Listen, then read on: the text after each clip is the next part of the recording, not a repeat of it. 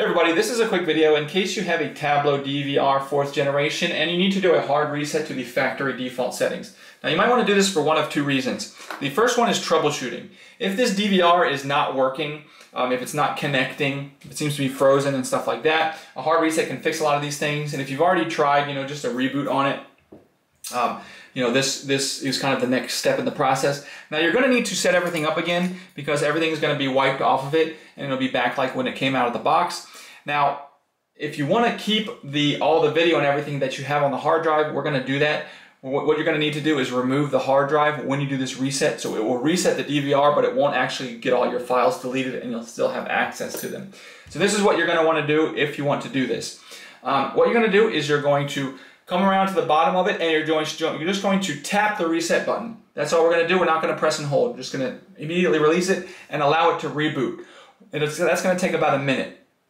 Once that happens, that minute is up. You can go ahead and pause this video and wait for it to happen and then we'll move on to step two. So step two is you're going to then remove your USB hard drive from the back of your DVR. Um, and once you do that, You're not going to, just uh, keep in mind, you're not going to put this back in until basically the very end of this whole process. Once you've got it out, you're going to again hit the reset button and reset the machine. Again, wait for the blue LED to stop flashing, indicating that the reboot is complete. Once that happens, you're going to open the um, Tablo app, and then you're going to sign out of the app.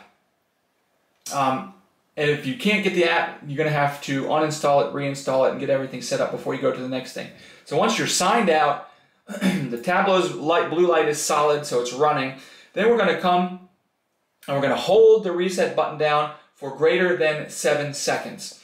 And so the what, what you'll see is the blue LED light on the front of the DVR will start to flash um, faster and faster and faster. And then when it turns solid, the Tablo will begin its factory reset and you can release the button um, and then you can just let it do its reset. Once you do that, then you're going to go back to the um, mobile application and say, I, then you're going to have to sign in saying I already have an account and you're going to log back into your account. And then it's going, since it's new, it's going to send you through the setup process. Now keep in mind, it's when you, it's going to, it's going to prompt you through the setup process. It's going to tell you to attach your hard drive do not do it or you'll be locked out of those files, all right? So when, as, you're, as you're guided through the setup process, you know, just enter your zip code, all that stuff, running the channel scan, all that kind of stuff goes. Um, and once all that is finished and everything is set back up, then you can reattach your hard drive. Um, once you do that, um, then you should be all set up and good to go with a reset Tablo.